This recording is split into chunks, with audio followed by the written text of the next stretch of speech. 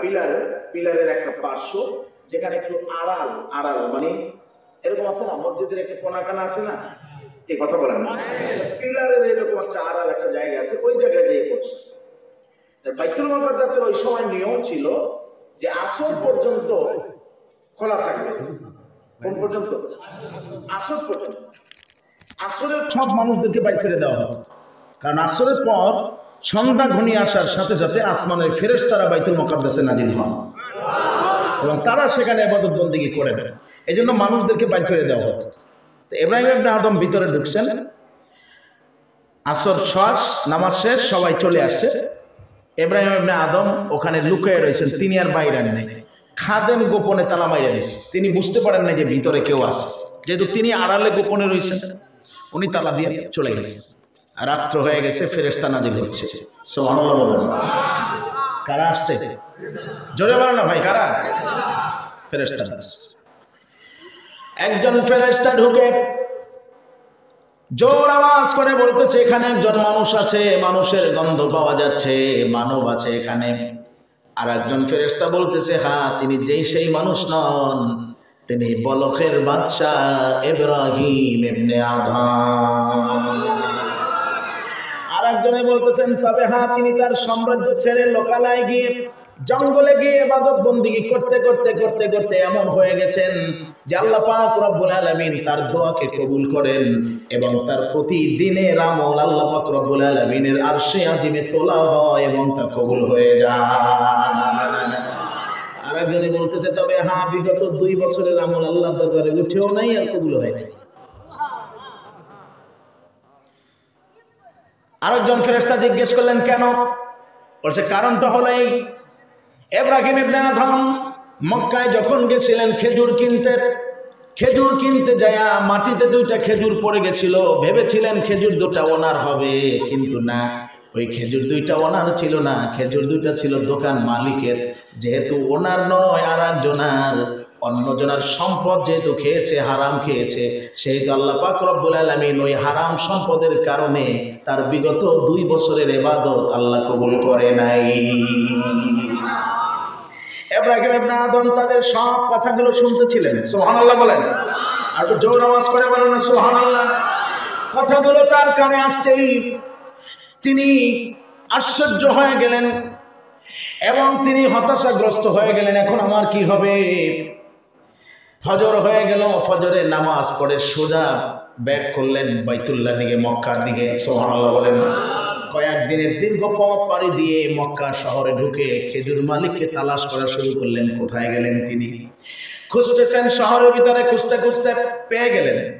কিন্তু দেখলেন, আগে যার কাছ থেকে খেজুর কিনেছিলেন, তিনি বৃদ্ধ ছিলেন। কিন্তু ওই দোকানে সেই বৃদ্ধ লোকটি নাই। আছে এক যুবক যে দোকানদারি করতেছে। দাঁড়ায় জিজ্ঞেস করলেন, এই দোকান কি তোমার? বলে হ্যাঁ। বলে, এখানে তো একজন মুরব্বী ছিল। বলে, উনি আমার বাবা ছিলেন, উনি মারা গেছেন। এখন দোকানের মালিক আমি। এব্রাহিম আদম বললেন, এসেছি বহু দূর থেকে। একটা দাবি সারানোর জন্য ঘটনা খুলে বললেন, যুবক বলতেছে, হুজুর, আপনি অনেক দূর থেকে এসেছেন।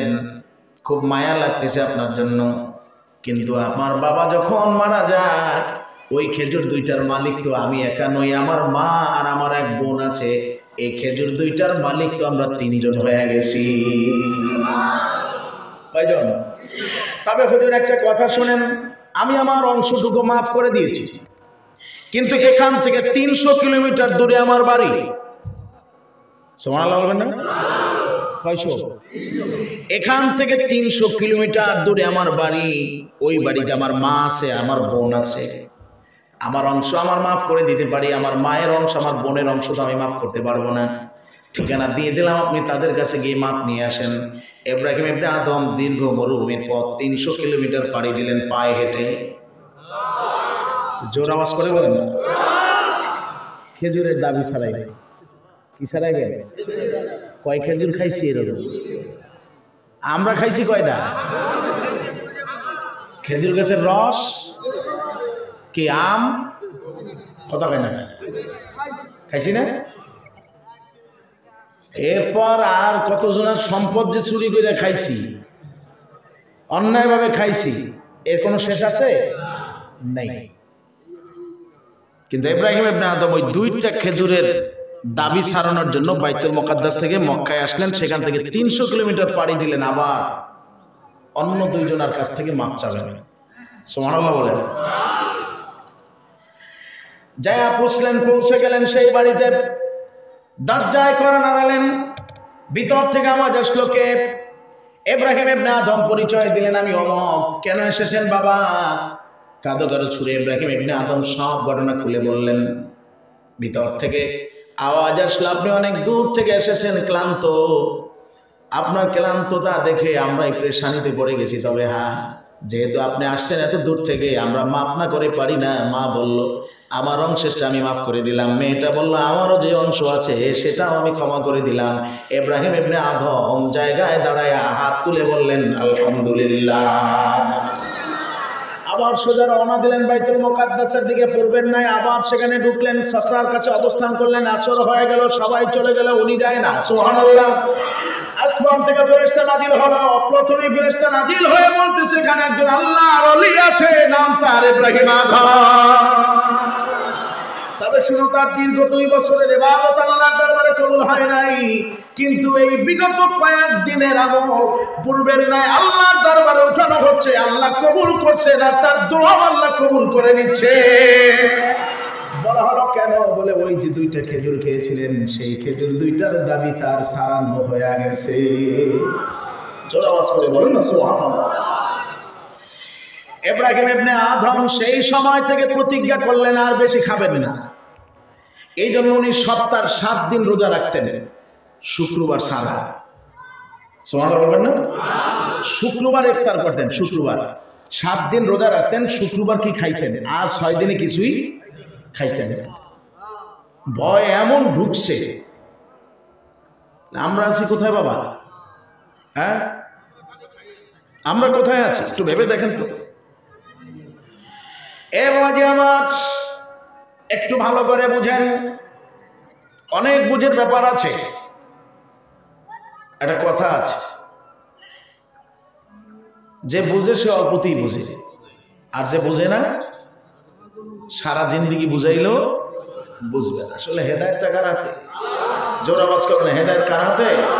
আল্লাহ তাকে হেদায়ত দেন, পৃথিবীর কেউ তাকে গোমরা করতে পারে না। এই জন্য হেদায়ত চাইতে হবে আল্লাহ আল্লাহ আমাকে সাহায্য করো আমাকে সাহায্য করো সোহানুল্লাহ বলো সাহায্যটা চাইতে হবে কার কাছে? আল্লাহ এখনও সময় আছে না না জোরে কন্যা আছে না না কথাটা আমি এজন্য বলেছি, আমি নামাজি আমার ভিতরে যদি এই সকল বদ আমলগুলো থাকে, সেজদা যদি এক নয়, দৈনিক হাজার সেজদা দিল, একটা সেজদা আল্লাহর দরবারে কবুল হবে না। কিন্তু আমি একজন দুর্বল মানুষ, অসহায় মানুষ দিন মজুরি মানুষ, রিক্সা চালায় খাই ভ্যান গাড়ি চালায় খাই ঠেলা গাড়ি চালায় খাই আমি শ্রমিক আমি একজন মজুমদার। আমি এরকম দিনে কষ্ট করে করে আমি খাই আমি ব্যবসায়ী আমি চাকরিজীবী। আমার বেশি উপার্জন নাই অল্প কিছু উপার্জন। ডাইল ভর্তা খাই আলু ভর্তা খাই মরিচ পোড়া খাই মাঝে মাঝে ডিম খাই।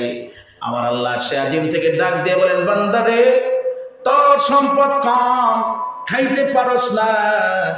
কিন্তু যতটুকু খাও সেই খাবারটা হালাল। এবারও তো বেশি করতে পারো না।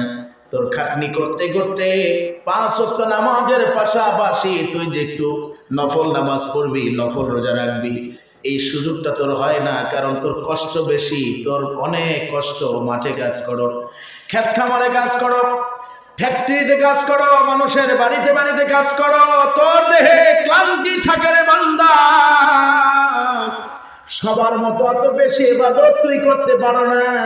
কিন্তু হালাল খাবার খাইয়া তুই যতটুকু এবাদত করো, তুই যদি আমাকে একটা সেজদা দাও, মনে রাখিস বান্দা, তোর ওই সেজদাটা জমিনে থাকে না, আমি আল্লাহ পাক রব্বুল আলামিনের কুদরতি কদমে পড়ে যা। আর তুই যখন একটা সেজদা দিবি, ওই সেজদাটা আমি আল্লাহ পাক রব্বুল আলামিন সঙ্গে সঙ্গে কবুল করে নিয়ে যাব। সুবহানাল্লাহ তোর একটা সেজদা আমার যাবে না একবার আমাকে ডাকবি আল্লাহ বলে সত্তর বার জবাব চিৎকার দিব সুবহান তুই হালাল খাও। তোর দেহটা হালাল, তোর জবানটা হালাল, তোর দেহের পোশাকটা হালাল। তুই যা করবি তাই কবুল সুবহানাল্লাহ বলেন। সম্পদ আমার আছে কোটি কোটি কোটি কোটি টাকা। সমান হারে ভেজাল। আল্লাহ বলেন, তোর ওইটার মধ্যে ভেজাল, তোর সব জায়গায় ভেজাল। তোর সম্পদে ভেজাল তোর এবাদতে ভেজাল, তোর তেলাওয়াতে ভেজাল, তোর চলনে ভেজাল, তোর বলনে ভেজাল, তোর সব জায়গায় ভেজাল, পরকালে আমি ভেজালের মধ্যে রাখব। কথা বলেন ঠিক না নাকি? অতএব আমাদের হালাল খাওয়ার দরকার আছে না নাই?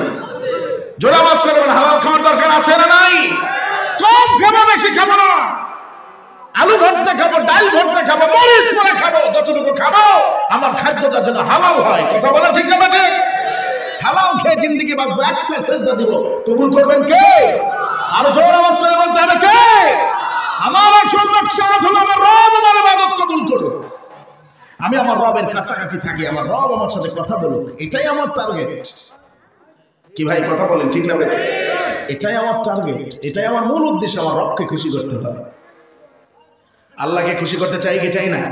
কে কে চায়, কে চাই আর একবার হাত তুলে না না চাকরি না চাকরি অতএব আমাদের ভিতরে যদি এই ধরনের সমস্যা থাকে যাও। আমাদের ভিতরে যদি এই ধরনের কোনো সমস্যা থাকে উপায় কি? আল্লাহ বলছেন বান্দা তুই দৈনিক নামাজে গেছো যা। ওই আগের মতোই নামাজ পড়, পড়তে থাক। কিন্তু বান্দা তোর ভিতরে অনুভূতি যখন আসবে যে না এগুলো আমার করা ঠিক হয়নি আমি করব না আমি তওবা করব। বান্দা তুই যখন তওবা করে খাঁটি মনে তওবা করে মসজিদের বারান্দার প্রথম কদমটা রাখবে ওই কদমটাই আমি কবুল করে নিব। এটা তওবা করে আয়। সুদ খেয়েছো, ঘুষ খেয়েছো, অন্যায় করেছ, অবিচার করেছ, তওবা কর। তওবা করে মসজিদে পা দে তো প্রত্যেকটা কদম আমি কবুল করে নেব, প্রত্যেকটা সেজদা আমার দরবারে কবুল হয়ে যাবে। তওবা করে আয়। অতএব আমরা যদি এই ভুলের ভিতরে থাকি, তওবা করার দরকার আছে না নাই? জোরে আওয়াজ করবেন আছে না নাই? তওবা করব কার কাছে? ভুল স্বীকার করব কার কাছে? আল্লাহ ক্ষমাশীল, মায়াশীল, আল্লাহ মাফ করে দিবে। সুবহানাল্লাহ বলেন। আল্লাহর মাফ করতে কারও কাছে জিজ্ঞেস করা লাগবে? কে? প্রধানমন্ত্রীর কাছে? যে আপনার রাজ্যে অমুকে আছে, আমি মাফ করতে চাই। করব, একটু সুপারিশ দিবেন? হ্যাঁ? তিনি বাচ্চা আর বাচ্চা তিনি কে? কি আসতে বলেন কেন? জোরে বলেন তিনি কে? মাফ করে দিবেন। বলতে দেরি, বান্দা যদি শুধু একটু অনুভূতি নিয়া হৃদয় থেকে যদি চোখের পানি ছেড়ে দিয়ে বলে, আল্লাহ, ভুল করেছি, মাফ করে দাও। আল্লাহ বলেন, মাফ করে দিলাম, যা। তোকে মাফ করে দিলাম। আল্লাহ মাফ করে দিবেন। সুবহানাল্লাহ বলেন। আমরা মাটির তৈরি মানুষ। ঠিক না বে ঠিক জোরে বলে না, ঠিক না বে ঠিক মাটি যদি অপবিত্র হয় দুই ভাবে তাকে পবিত্র করে।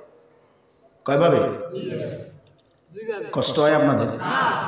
কয় ভাবে দুই ভাবে পবিত্র করে। প্রথম নাম্বার, মাটিতে কেউ প্রসাব করছে। একটা মাটির দলা। মনে করেন একটা মাটির কি? চাকা। এটা প্রসাব করলে এটা কি নাপাক হবে না? কি কথা বলেন? এখন ওইটা দ্বারা তাইমম করলে তাইমম হবে? এখন ওইটাকে যদি পবিত্র করতে হয় দুইটা সিস্টেম। এক হলো বেশি পরিমাণে পানি ঢেলে দিতে হবে। বেশি পরিমাণে পানি ঢালতে হবে। বাস পবিত্র হয়ে গেল। দ্বিতীয়ত যদি রোদ্রে শুকায় তাপ দেয় তাইলেও পবিত্র হয়ে যায়। তাহলে মাটিকে পবিত্র করার দুইটা উপায়। এক বেশি পরিমাণে পানি। আর দ্বিতীয়ত আগুনে কি দেওয়া?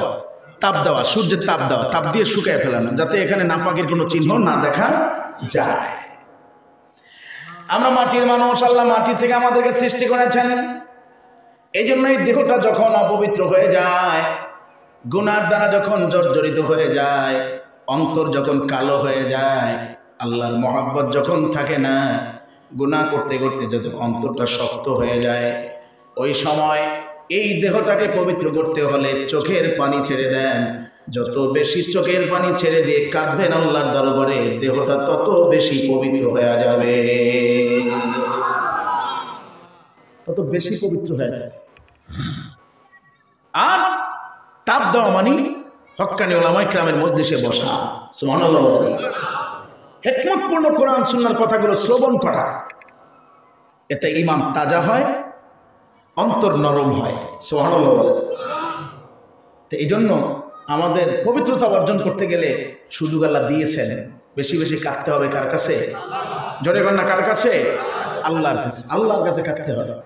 আল্লাহ বলছেন, বান্দা কাঁদো কাঁদো فليضحكوا قليلا وليبكوا كثيرا হাসো কম কাঁদো বেশি আর এখন আমাদের হচ্ছে হাসি বেশি কাঁদি কি কম এজন্য দেহ পবিত্র করতে হলে কাঁদতে হবে বেশি আর কাঁদবো কিসের ভয়ে কার ভয়ে আল্লাহর ভয়ে শাস্তির ভয়ে কাঁদবো গুণা মাফ হয়ে যাবে দেহটা পবিত্র হয়ে যাবে এই জন্য দেখবেন বাবাজিরা আমার প্র্যাকটিক্যাল বোঝায় আপনাদের। এখানে যেহেতু সবাই আলেম নয়, আমি এই জন্য কেতাবের গভীরে ঢুকতেছি না, আমি বাংলা দিয়ে কিছু কথা দিয়ে আপনাদেরকে বুঝাচ্ছি। আমি ইচ্ছা করলে এখানে অন্যভাবে আলোচনা করতে পারতাম। আপনারা শুনতেন খালি কোরআন, হাদিস বলতেছে হুজুর কিন্তু হতো কি, সবাই তো বুঝবেন না।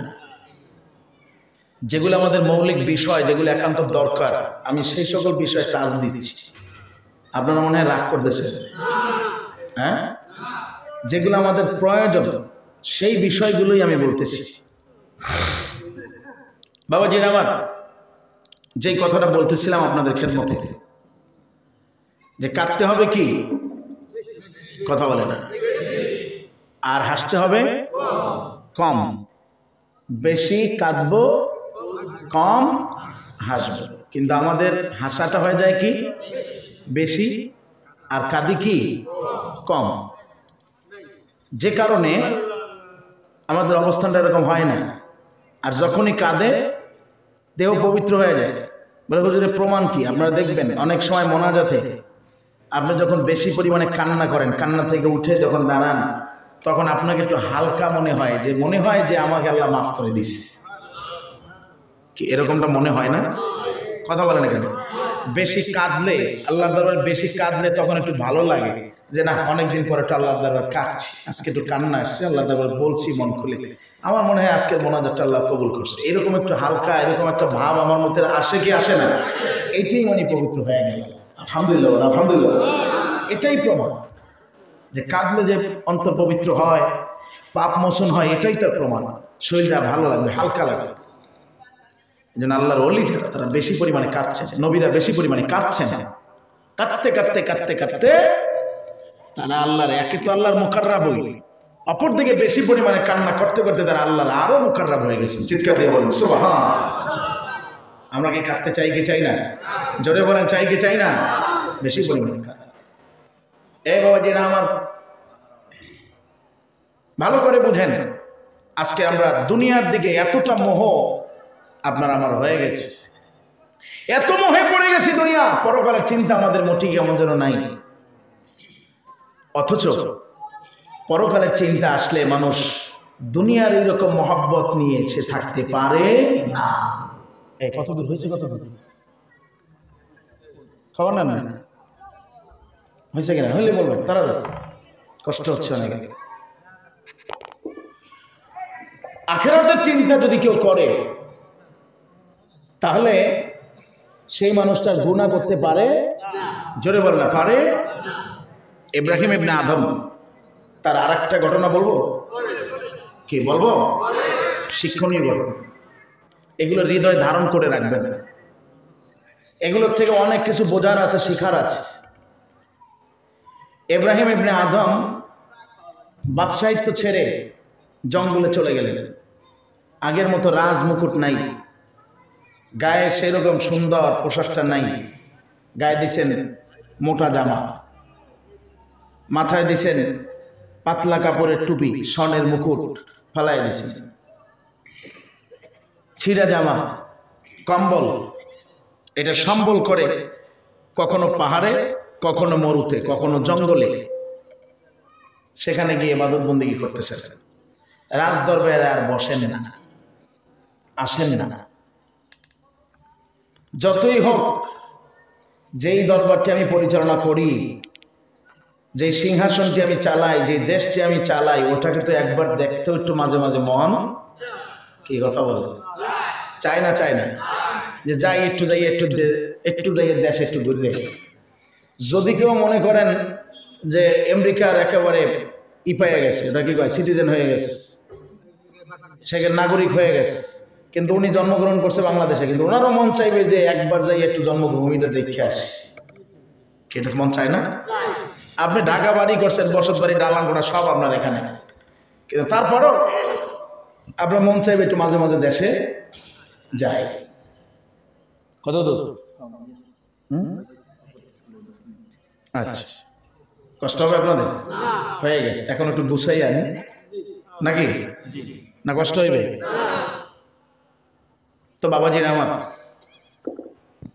ইব্রাহিম ইবনে আদম, তিনি যখন ওইরকম চলে গেলেন, একাধারে তিন বছর পর্যন্ত তার কোনো খবর নেই।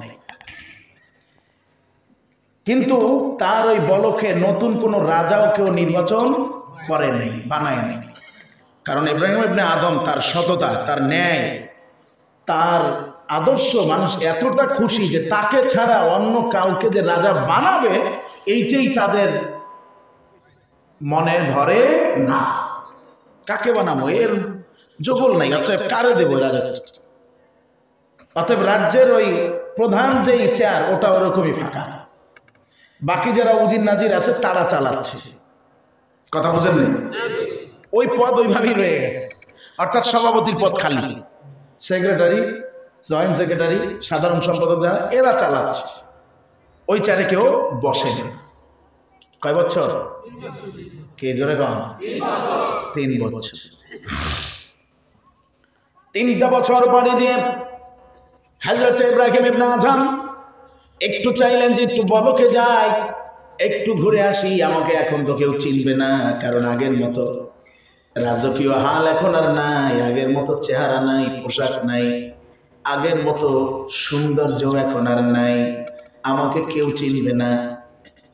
এরকম বেশ ধরে ফকিরের, বেশ ধরে শহরে ঢুকলেন বলকের বাদশাহ ইব্রাহিম ইবনে আদম। কিন্তু ভাই, একান্ত কাছের মানুষ যে সব সময় তার সাথে চলতো বছরকে বছর তার পাশে থাকতো।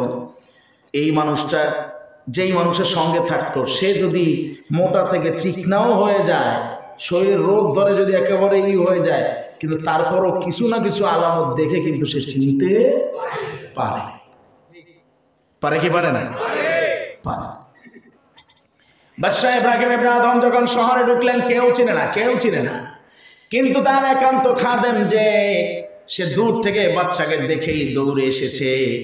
কাছে এসেই বলতেছে, আপনি তো সেই ইব্রাহিম ইবনে আদম যে আমাদের বলকের বাচ্চা ছিলেন। বলে হ্যাঁ বলে, কেন? কিসের কারণে? কোন কারণে? আপনি রাজত্ব ছেড়ে দিয়ে বাদশাহিত্য ছেড়ে দিয়ে ফকিরের বেশ আপনি ধারণ করলেন। আপনি ফকির হয়ে গেলেন। সাধারণ মানুষের মতো আপনি জীবন যাপন করতেছেন। কারণটা কি একটু বলবেন কি? প্রজা হিসাবে তো আমরা আপনার অবদ্ধ ছিলাম না। যা নির্দেশ দিতেন আমরা তো তাই করতাম। রাজা হিসাবেও আপনি অনেক ভালো ছিলেন, যেটা আমরা জানি। আর সেজন্যই আমরা কোনো নতুন রাজা, নতুন কোনো বাচ্চাকে আমরা আপনার আসনে বসাই নাই। তবে কেন আপনি রাজত্ব ছেড়ে দিয়ে ফকিরের বেশ ধারণ করলেন? একটু বলবেন কি? বলে, শোনো, পাঁচটা কারণ, পাঁচটা চিন্তা, পাঁচটা ভাবনা আমাকে রাজত্ব ছেড়ে বাধ্য করে দিয়েছে। কয়টা ভাবনা? জোরে বল না, কয়টা? বলে, একটু বলবেন কি? বলে, শোনো, প্রথম নাম্বার হলে আমি যখন আমার মায়ের গর্ভে ছিলাম, আমার মায়ের গর্ভে যখন এসেছি, প্রথমত হলে এই আল্লাহ পাক রব্বুল আলামিন যখন কোনো বান্দাকে সৃষ্টি করেন, আমাকে সৃষ্টি করার সঙ্গে সঙ্গে আমার ব্যাপারে দুইটা কথার যে কোনো একটা কথা লেখা হয়েছে আম সাকিউন আম সাঈদুন। আমি কি নেককার নাকি আমি বদকার? এই দুইটা কথার যে কোনো একটা কথা আমার ব্যাপারে লেখা হয়েছে। আমি ইব্রাহিম ইবনে আদম জানি না, এই দুই কথার মধ্য থেকে আল্লাহ রব্বুল আলামিন আমার নামে কোন কথাটা লিখেছেন? আমি কি নেককার হব নাকি আমি বদকার হব? এই একটা ভাবনা আমার। আমি যখন আমার মায়ের গর্ভে এসেছি, চার মাস পার হয়ে যাওয়ার সঙ্গে সঙ্গে যখন আমার ব্যাপারে রুহু এসেছে আমার দেহের ভিতরে, এই দুইটা কথার যে কোনো একটা কথা আমার লেখা হয়ে গেছে। আমি নিক্ষা নাকি আমি বক্ষা এই চিন্তা আমার। বলে, পাইলাম তো এক নাম্বার, দ্বিতীয় নাম্বার কি? বলে, দ্বিতীয় নাম্বার হচ্ছে যখন আমার মৃত্যু চলে আসবে মালাকুল মৌত যখন চলে আসবে সামনে, প্রত্যেক ব্যক্তিকে দুইটা ডাকের মধ্য থেকে যে কোনো একটা ডাক দিবে। এক আইয়াতুহান নাফসুত তাইয়্যিব অথবা বলবে আইয়াতুহান নাফসুল খাবিস। হয় বলা হবে, হে ভালো আত্মা, না হয় বলবে, হে পাপিষ্ঠ আত্মা। আমার জানা নাই সেদিন মালাকুল মহম্মদ আমার সামনে দাঁড়াইয়া এই দুইটা ডাকের মধ্য থেকে কোন ডাকটা দেয়? আমাকে কি ভালো মানুষ বলে, নাকি খারাপ মানুষ বলে? এই একটা চিন্তা। তৃতীয় নাম্বার হল, আমাকে যখন কবরে রাখা হবে মনকা নাকির ফেরেস্তা চলে আসবে কবরে। আসার পরেই জিজ্ঞেস করবে, মান রব্বুকা আমা দিনুকা আমান নাবিয়ুকা? রবকে, দিন কি নবীকে তিনটা প্রশ্নের যে কোনো তিনটা প্রশ্ন আমাকে যখন করা হবে, আম আজিব আমলাম উজিব? আমি কি সেই প্রশ্নগুলোর জবাব দিতে পারব কি পারব না? এই একটা টেনশন আমি কি প্রশ্নের জবাব দিতে পারব নাকি আমি পারব না? এরপরে আবার রোজ হাসরের ময়দানে আল্লাহ পাক রব্বুল আলামিন বান্দাদেরকে দুইটা ভাগে বিভক্ত করবেন। ফারিকুন ফিস সাঈর একদল হবে জান্নাতি আর দল হবে জাহান্নামী। একদল সৌভাগ্যশীল আর দল অভাগ্য। আমার জানা নাই এই দুই দলের মধ্যে ফারিকুন ফিল জান্নাতি ও ফারিকুন ফিস সাঈর একদল জান্নাতি আর দল জাহান্নামী। আমার জানা নাই এই দুই দলের মধ্যে আমি কোন দলে আছি। সুবহানাল্লাহ বলেন। আরও জোর আওয়াজ করে বলেন সুবহানাল্লাহ। আর একটা আমার ভাবনা কাল কিয়ামতের ময়দানে আল্লাহ পাক রব্বুল আলামিন বান্দার হাতে তার আমলনামা তুলে দিবে। কারও দিবে ডান হাতে আর কারও দিবে বাম হাতে। আমি ইব্রাহিমের আদমের জানা নাই, কাল হাসরের ময়দানে আমার আমল নামাটা আমার আল্লাহ ডান হাতে দেয় নাকি আমার বাম হাতে দেয়? এই পাঁচটা চিন্তা আমাকে এমন ভাবে ব্যতীত করেছে এমন ভাবে ব্যতীত করেছে, আমি কি নেককার নাকি আমি বক্কার আমি কি নেককার নাকি আমি বদকার? আমাকে ফেরেশতা কোন ডাকটি দেয়? আমি কি মুনকার নাকি ফেরেশতাদের জবাব দিতে পারব কি পারব না? আমি কি জান্নাতি নাকি আমি জাহান্নামী? আমার আমল আমার ডান হাতে আসে নাকি বাম হাতে আসে? এই পাঁচটা চিন্তা আমাকে এমন ভাবে ব্যতীত করেছে, আমি যখন এই মসনদে বসি, আমি টিকতে পারি না। যে কারণে আমি মসনদ ছেড়ে ফকিরের বেশ ধারণ করতে আমি বাধ্য হয়ে গেছি। আর জোর আওয়াজ করে বলুন, সুবহানাল্লাহ। যে কারণে আমি বাধ্য হয়ে গেছি মস্তক ছেড়ে দিয়ে ফকিরের বেশ ধারণ করতে। বলে, পাইছেন কি? পাইছেন কি? ফকিরের বেশ ধারণ তো করলেন, কি পাইলেন? বলে, পাই নাই কি সেইটা বলো। পাই নাই কি? বলে, কি পাই পাইলেন বলে, আসো আমার সাথে। এব্রাহিম ইবনে আদম তার খাদেমকে ধরে নদীর পাশে নিয়ে গেলেন। ওনার হাতে সব সময় সুই সুতা থাকতো, কারণ জামা ছিঁড়ে গেলে ওইটা দিয়ে সেলাই। সেলাই করে পড়তে। তা বোঝেন এখন কতটা নিঃস্ব হয়ে গেলেন তিনি। ওই সুইটা ধইরা নদীর ভিতরে ফালাই দিস।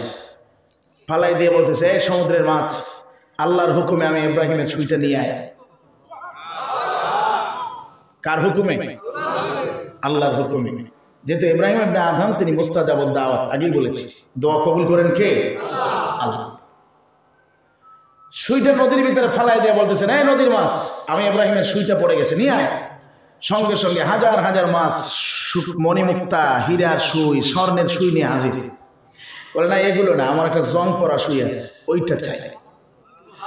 তখন আর একটা মাছ এসে ওই সুইটা উঠে দিস।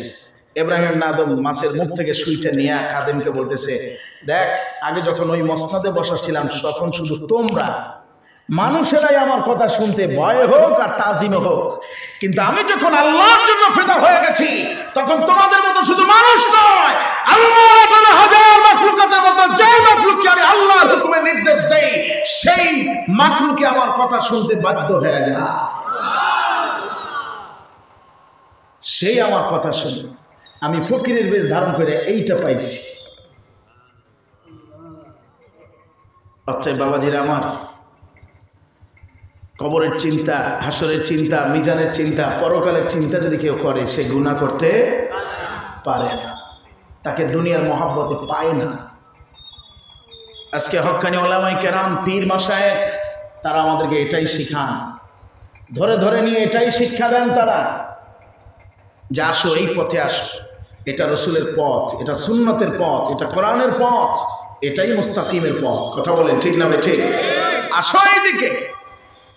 আমরা যদি সেই সকল হক্কানি ওলামাই ক্রামদেরকে চিনে, তাদের ডাকে সাড়া দিয়ে যদি সেই পথটাকে আঁকড়ে ধরতে পারি ইনশাল্লাহ সফল হবই হব। কথা বলেন ঠিক না ঠিক? আমরা কি সফল হতে চাই কি চাই না? কে কে চাই? কে কে চাই? হাত তুলে দেখান। না রায় না আমরা আলেম না, আলেম হইতে পারি নাই। এই জন্য আমরা আলেমদেরকে মহব্বত করি, ভালোবাসি। আল্লাহর অলিদেরকে আমরা ভালোবাসি। কথা বলেন ঠিক না ঠিক? আমরা কি আল্লাহর অলিদেরকে ভালোবাসতে চাই কি চাই না? আল্লাহর অলি কারা? হাদিস শরীফের আল্লাহ হাবিব সাল্লাহ আসলামকে প্রশ্ন করা হয়েছে হুজুর, অলি কারা? আল্লাহর বন্ধু কারা? নবীজি বলছেন, যাদেরকে দেখলে আল্লাহ দিন আইদা দুকরুল্লাহ যাদেরকে দেখলে আল্লাহর কথা স্মরণ হয়। নবীজির কথা স্মরণ হয়, মনে করবা তিনি আল্লাহর অলি। সোহানাল্লাহ বলেন সোহানাল্লাহ এই জগতে আল্লাহর এমন কিছু মহান বান্দা আছে, যাদের দিকে তাকালে পরকালে চিন্তা আসে না আসে না। কথা বলে না, ভাই, আসে কি, আসে না?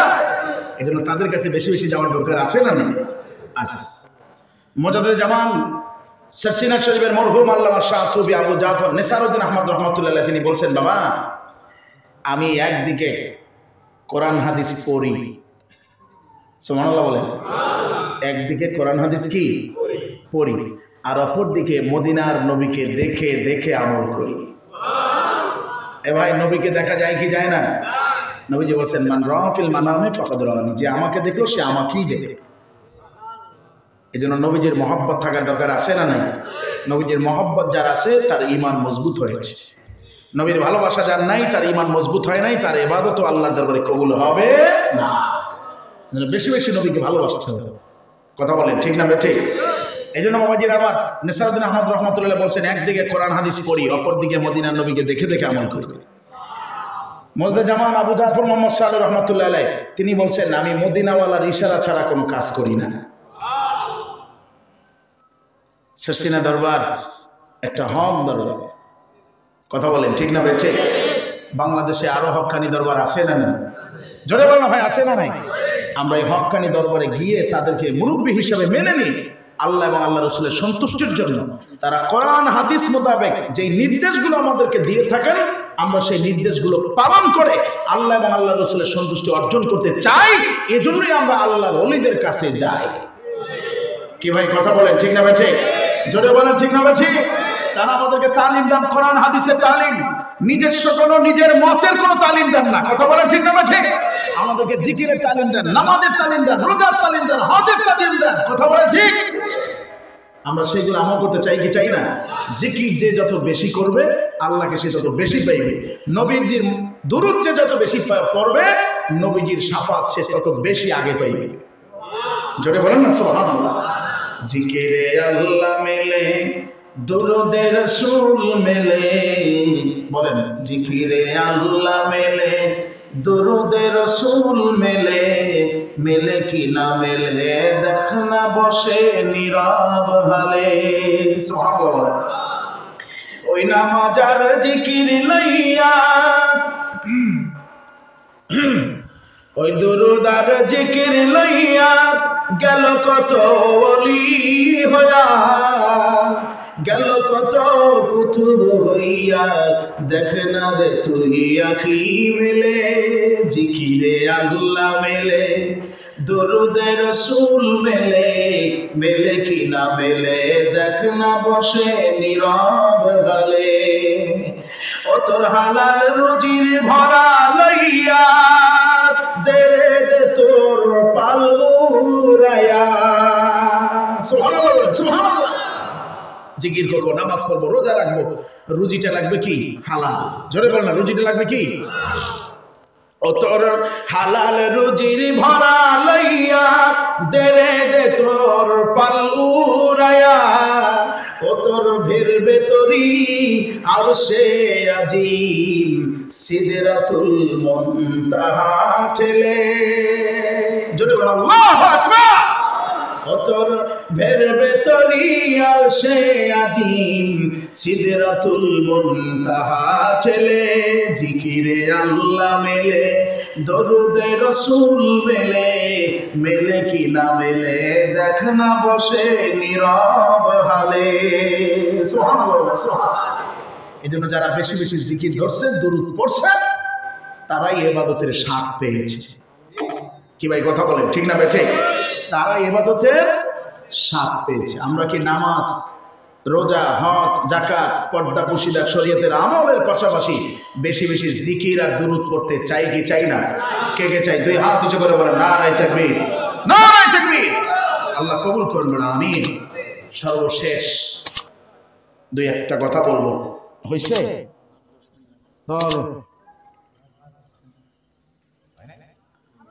তাড়াতাড়ি সর্বশেষ একটা কথা। শোনেন, এরকম কষ্ট তো সব দিন হয় না, হয়? বসছি যখন বসছি যখন পারছি। কি? আর একটু ধৈর্য ধরা যাবে না?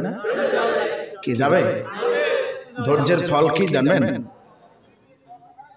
ধৈর্যের ফল কি জানেন? ধৈর্যের ফল কি জানেন? আমার তো তাড়াতাড়ি বাড়তে পারলে বাসি আমি তো যখন যেমন গলাসি আপনারা তো যাবেন কিন্তু বাড়ি। আমার টেনশন আপনার সেই কম। কম না।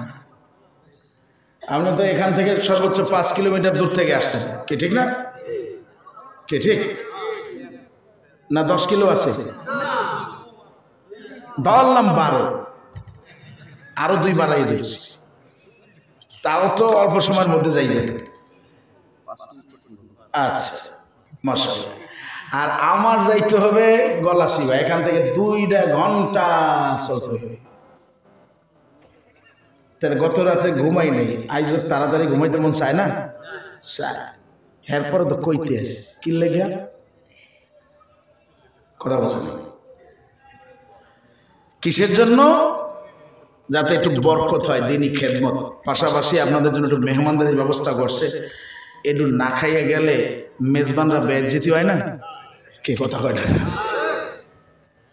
এই জন্য মেজবানের ইজ্জাত বাঁচানো দরকার আছে না নেই? আমাদেরকে মহাব্বত তারা করছে বিদায় ভালোবেসে আমরা সবাই আয়োজন করছি, শরিক হয়েছি। ওই শরিকের মধ্যে থেকে আমরা একটু তাবারও খেয়ে বর করতে পারি ঠিক তো? এই, আর কিছু।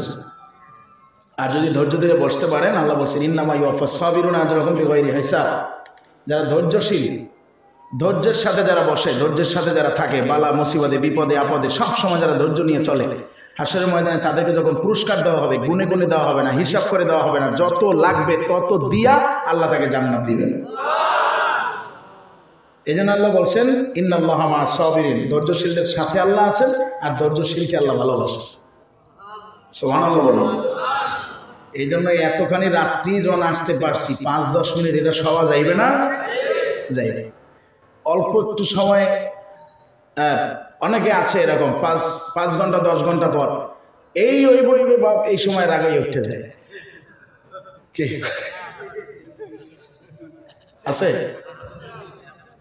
কষ্ট পাই না এক বেচারা শুনছে যে শুক্রবার দিন দোয়া করলে আল্লাহ দোয়া কবুল করে। ওনার আল্লাহ অর্থের অভাব। কথা বোঝেন নাই? উনি আলেমের মুখ থেকে এটা শুনছে যে হাদিস শরীফের কথা। উনি চিন্তা করছে, সুযোগ তো আমার যায়, টাকা পয়সাও লাগবে, তা কিছু নাই। ঘরে থরের কাছে একটা ইট আর ইট। কথা বোঝেন নাই? ওই ইটটারে সুন্দর মতো ধুয়ে টুইয়া ধ্যানে বসছে। ধ্যানে বসে সামনে রেখে গেছে, আল্লাহ আমার ইটটা স্বর্ণ বানাই দাও, আমার ইটটা স্বর্ণ বানাই দাও, আমার ইটটা স্বর্ণ বানাই দাও। এইরকম সকাল থেকে শুরু করছে।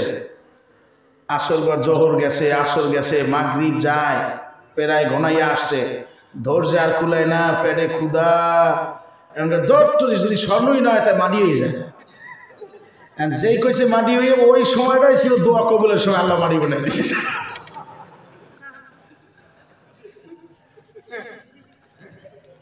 কথা বোঝেন নাকি? ওই যে সময় ধৈর্য হারা হইয়া কইছে কি, ধর যদি স্বর্ণই না হয়, তা মাটি হয়ে যা। তো ওই মুহূর্তটাই ছিল কি? দোয়া কবুলের সময় আল্লাহ মাটি বানাই দিয়েছে। আর সাই আফসোস করে এখন লাভ আছে। কি, এখন তো সালে আফসোস আর আফসোস। কথা বোঝেন, অনেক সময় আছে। কষ্ট হয় আপনাদের, না? অনেক সময় আছে মানে আল্লাহ যে অবস্থায় রাখে, ওইটার অবস্থায় খুশি থাকতে হয়। বেশি চাইতে গেলেই ঝামেলায় পড়ে। কথা বোঝেন নাই? বেশি চাইতে গেলেই কি? এক বেচারা নদীর পাড় দিয়ে আটতে আসার কইতে আছে, দৌড় এত ধনী অমুকে এইটা পাইছে মাইট পাইছে, অমুকে পিলার পাইছে, অমুকে সেইটা পাইছে গুপ্ত ধন পাইছে, আল্লাহ আমারে কিছু দেয় না, কিছু দিতে পারে না আমার, আমি অভাবী মানুষ। আর নদীর পাড় দিয়ে কয় আর হঠাৎ করে পাইছে কি পাইছে উনিও কইতে পারে না। কাদা কাটা মাহন নিয়ে দেখে মতো মতো, এরকম গোল, উনি তো মনে করছে পাইছি। পাইয়া খুশিতে চিন্তা করছে যে শ্বশুর বাড়ি যাইতে আছে কাদা কোদা লইয়া যাই কেমনে? নদীর পাড়ে যাইয়া গেছে ধুইতে। আর সরতে হাতে গনে গেছে ছুটতে। আর নদীর মধ্যে চলে গেছে এখন মাথায় গেছে বিকুটটা। কয়, পাইলাম কা ধুইলাম কা পাইলাম কা ধুইলাম কা। কথা বুঝে করতে করতে গেছে শ্বশুর বাড়ি আপনাদের একটু ঘুমাইছে এই জন্য করতে